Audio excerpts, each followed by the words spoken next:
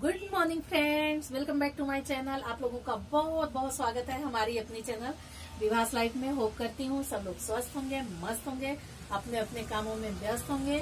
हम भी व्यस्त है, प्याज, लहसुन छील रहे हैं। आज हम बनाएँगे खाने में। बताएँगे नहीं, सीधे दिखाएँगे। तो कुछ अच्छा ही बनाएँगे टेस्टी सा बनाएँगे। और आप लोगों से हम बोलना चाह रहे थे, सारे मेरे जितने भी फ्रेंड्स हैं सबसे कि प्लीज़ आप लोग अगर मेरा वीडियो देखते हैं तो पूरा देखिए, मेरे को वॉच टाइम भी चाहिए सब्सक्राइबर के साथ। तो सब्सक्राइबर तो अभी मेरे हो जाएँगे, बस सौ बाकी हैं, लेकिन वॉच टाइम बहुत ज़्यादा अभी हमको चाहिए। तो प्लीज़ आप लोग वीडियो को पूरा देखा करिए। थोड़ा सा मत देखा करिए, नहीं तो वीडियो का फिर इम्प्रेशन खराब हो जाता है। मेरा ही नहीं किसी का भी आप जब वीडियो देखते हैं तो पूरा देखिए प्लीज़ और वीडियो को ज़रूर देखिए, और उस पर प्यारा प्यारा सा एकदम कमेंट करिए। और लाइक सब्सक्राइब ज़रूर करिए। तो यार, आप लोगों को क्या जाता है सब्सक्राइब करने में? आप लोगों का एक सब्सक्राइब और हम लोगों के चेहरे पे इतना बड़ा खुशी देता है, क्या कहे आपसे? तो आप लोगों को खुशी देने में क्या जा रहा है? प्लीज़ कर दीजिए। तो बस यही कहना था आप लोगों से कि वीडियो देखिए तो पूरा देखा करिए वीडियो प्लीज़ कम से कम अगर दस मिनट का वीडियो है तो कम से कम पाँच छह मिनट तो देखा करिए।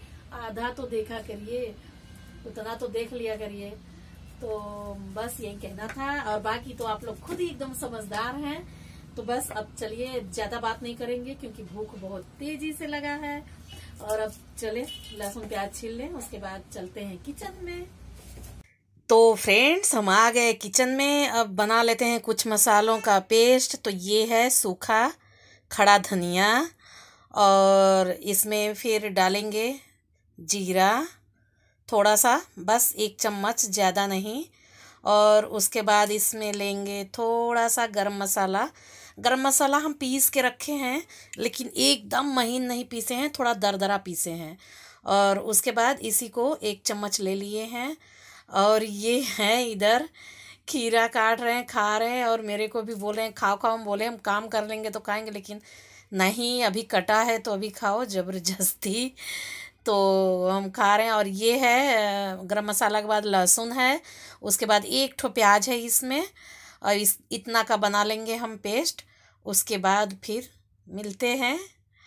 तो ये देखिए मेरे मसाले का अभी, मसाले में मिर्चा बाकी था मेरे तो अभी पेस्ट नहीं बनाए हैं, अभी मिर्चा, इन, इनसे बात करने में ना हम आधा तो भूल ही जाते हैं, कि क्या करना, बात करने में ध्यान रहता है, फिर इधर अभी इसमें थोड़ा सा और डालेंगे सरसों काला वाला सरसों है, पीला वाला सरसों नहीं है, ख़त्म हो गया है।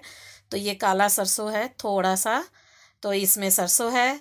और ये चना, मूंग और ये खीरा सब काट के नाश्ता कर रहे हैं, वो मेरे को भी दे रहे हैं, नहीं, खाते रहो, करते रहो।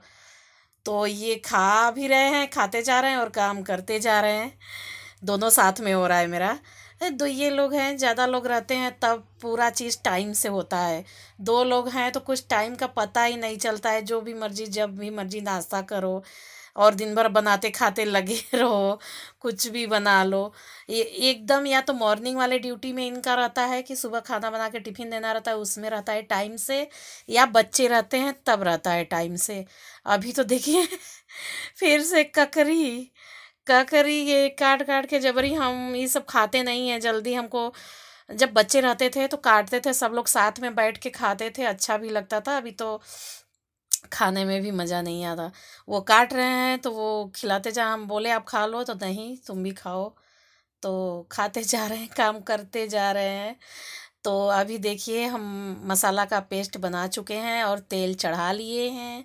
आप लोग सोच रहे होंगे कि क्या हम आज बनाने जा रहे हैं। तो हम आज बनाने जा रहे हैं फ़िश करी। हाँ मछली। तो ले आए थे तो फ्राई करके और हम लोग खा गए थे। और थोड़ा सा बचा दिए थे। जितना हम लोग को अच्छा लगता है फ्राई किया हुआ ना, उतना अच्छा मतलब ग्रेवी में का नहीं लगता। ग्रेवी में का ज़्यादा नहीं खाते हैं और मेरे बच्चे भी ग्रेवी में का ज़्यादा नहीं खाते। ये हम नमक डाल रहे हैं। आप लोग सोच रहे होंगे कटोरी में से क्या डाल रही हैं? तो प्या फ़ौरन में डाल दिए थे जीरा, मिर्चा, प्याज, उसके बाद नमक डाल दिए हैं और प्याज मेरा हो चुका है। अब इसमें मसाला करके भूनेंगे। तो मेरे बच्चों को भी ग्रेवी में का ज़्यादा नहीं पसंद है। वो लोग भी फ्राई किया हुआ ही मछली खाते हैं। तो अभी हम लोग मछली ज़्यादा खा रहे हैं चिकन कम, क्योंकि गर्मी है। तो मछली तो ठीक है चिकन थोड़ा नुकसान करेगा तो इसलिए तो मछली वही है, फ्राई करके और तो खा गए हैं, आधा से ज़्यादा तो खा गए हैं। थोड़ा सा बचा है तो हम कहीं ग्रेवी भी बना देते हैं। उसी से चावल रोटी खा लेंगे, वरना पूरा तला हुआ ही खाते तो चावल रोटी के लिए फिर से हमको बनाना पड़ता कुछ सब्ज़ी। तो हम बोले, नहीं, इतना का आप ग्रेवी बना देते हैं। तो अभी मसाला डाल के हल्दी डाल दिए इसको भून लेंगे तेल छोड़ने तक।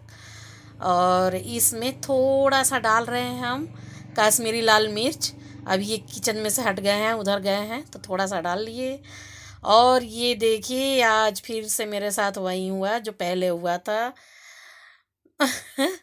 प्ले बटन ऑन करना ही भूल गए।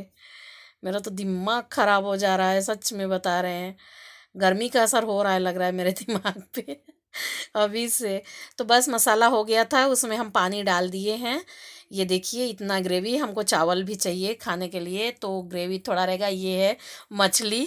चार पाँच पीस बचा है बस, और बाकी हम लोग फ्राई करके खा गए।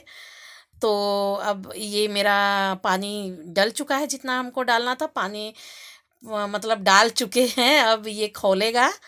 इसमें डालेंगे फिर मछली तो ये देखिए मेरा ग्रेवी खोल रहा है, अब इसमें मछली डाल दिए। अब इसको पकाएँगे धीमी आँच पे, इसको ढक देंगे, पकेगा।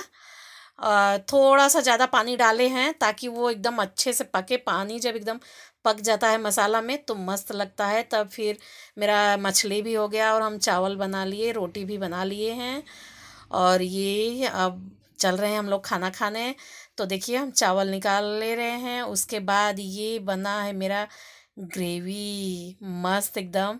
मेरा ना जब भी मन करता है कभी लिट्टी खाने का, कभी मछली खाने का तो बोलते हैं, आज ये ला दीजिए ना, बनाएँगे। तो ला देते हैं, चलो अच्छा ठीक है, लाते हैं। ये देखिए, एकदम मस्त ग्रेवी बना है। पानी उतना डाले थे, जरा के इतना कम किए हैं तो अब ये बहुत टेस्टी लगेगा। कम पानी डाल के बस उबाल के तुरंत उतार दीजिए, उसका टेस्ट नहीं आता।